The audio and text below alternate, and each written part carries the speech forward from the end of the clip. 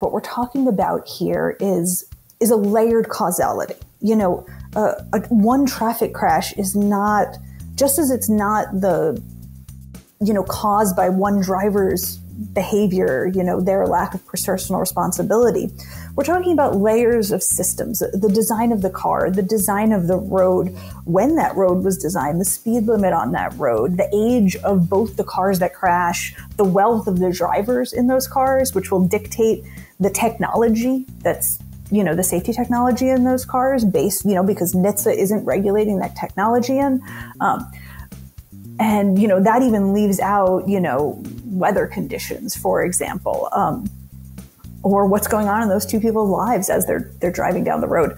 And so all of these factors matter. Um, and the thing i try to encourage and you know that i see a little bit of hope in is that so-called accidental death is not cancer. It's not COVID. We know how to solve it. There's also so much you can do locally. If you can transition from a blame mindset, a punishment mindset, a mindset that says we're going to educate the drivers out of their bad behavior, and one that focuses on harm reduction, um, that looks at the road and the vehicles that travel on it as uh, potential harms that we can mitigate, um, that we can mitigate by controlling their speed, by controlling their likelihood of impact, um, by separating the dangerous energy of vehicles from fragile human bones in space and time on the road. Um, and I think, you know, people listening, your audience probably knows a million ways we can do this, but it really does require saying, um, when people die on the roads, I want to know how I can reduce the harm of crashes. Um, you know, when I see an unsafe street, I want to know how I can reduce the harm of it. Not how I can get angry at that one driver who seems to be driving so fast, because when it comes down to it, the environment is begetting that behavior, you know? Um, and if we're focusing on how angry we are at that driver, we're never going to solve the problem.